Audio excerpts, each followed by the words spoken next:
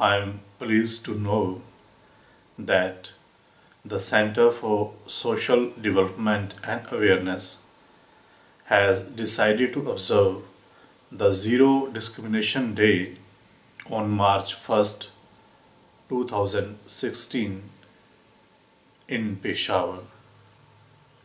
I wish the organizers all the best. The nature does not discriminate against any person on the basis of religion, race, ethnicity, nationality, and language, etc. Any discrimination on the basis of religion, race, ethnicity, gender, sexual orientation, nationality, and language is inhumane. There are four important United Nations documents addressing different kinds of discrimination. The first document is the Universal Declaration of Human Rights, which was adopted by the United Nations on December 10th, 1948.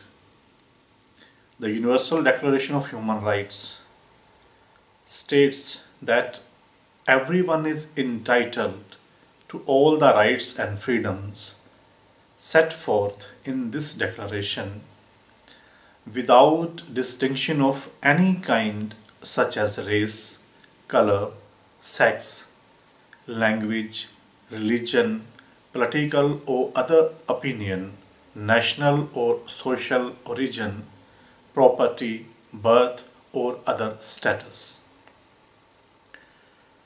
The second such document is the International Convention on the Elimination of All Forms of Racial Discrimination.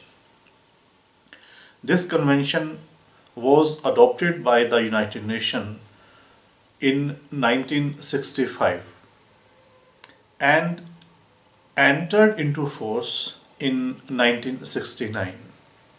The third important document is the Convention on the Elimination of All Forms of Discrimination Against Women. This convention was adopted in 1979 and it came into force on September 3, 1981. The fourth important document is the Convention on the Rights of Persons with Disabilities.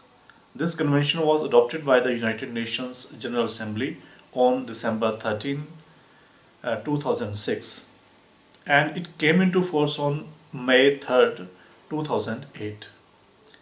The purpose of this convention is to promote, protect and ensure the full enjoyment of human rights by persons with disabilities and to ensure that they enjoy full equality under the law. These four documents adopted by the United Nations are very important documents.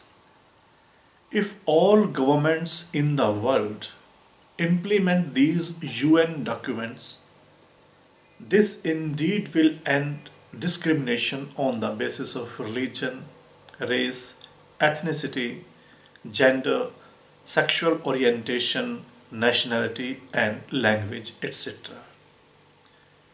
All governments organizations and individuals should promote and propagate these four UN documents to end every kind of discrimination.